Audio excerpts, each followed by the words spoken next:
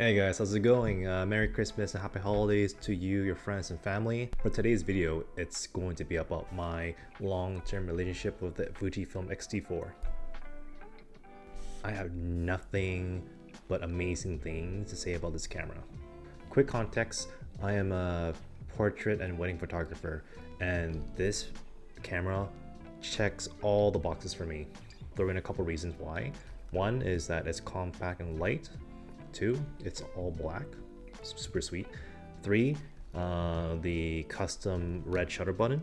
And four, I would say it just feels good to use, or just feels good to hold on to.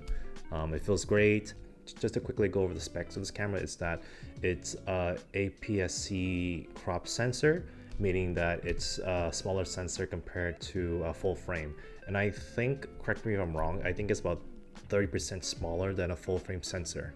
But the trade-off is that it's lighter. It is a 26 megapixel camera and it can shoot in 4K 60p at 4 to 10 bit. Honestly, anyone that's looking into doing weddings or portraits or both, I recommend this camera. Like this camera right here, like this guy here. Like this is a must. Please get this, get this.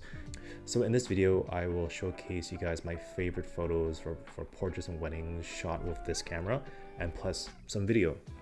Let's get started.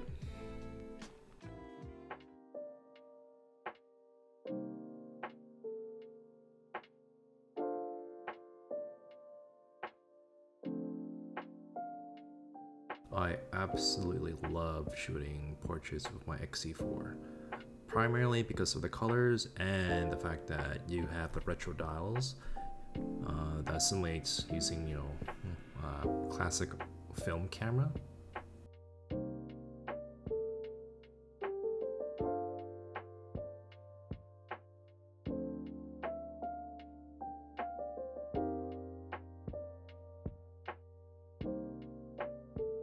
crazy thing about technology advancement in sensors is that you can barely tell the difference in image quality between a crop sensor versus a full frame.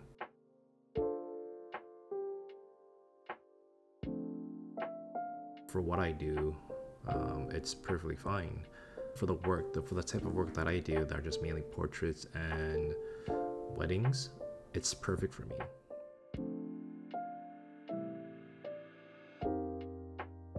The X-T4 does an amazing job in low light situations. And even if you see like noise in the photos, it's a different kind of noise you see uh, comparably to Canon and Sony. With Fujifilm's noise, it's like really nice film noise.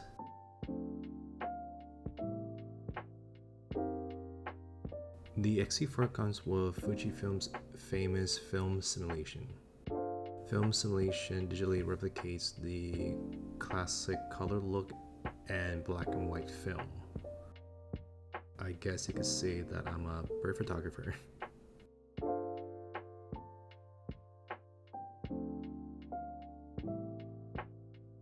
It's lightweight, compact.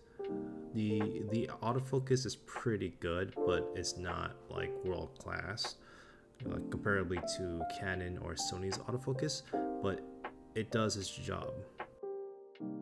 There are some weird oddities where like maybe some photos may look in focus on camera, but it isn't when you actually view it on, on, on your laptop or computer or tablet or whatever you use to edit your photos.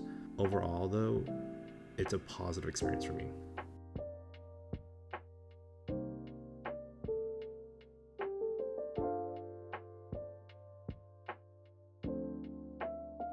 The X-T4 does exceptionally well for video.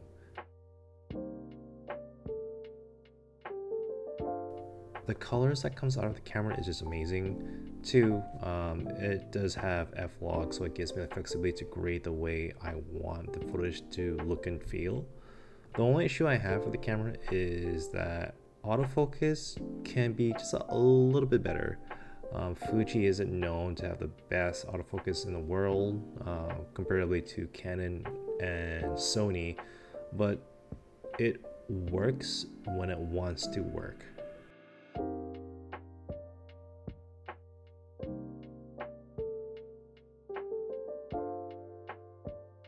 Just to summarize everything is that I love the camera for photos and video, hands down.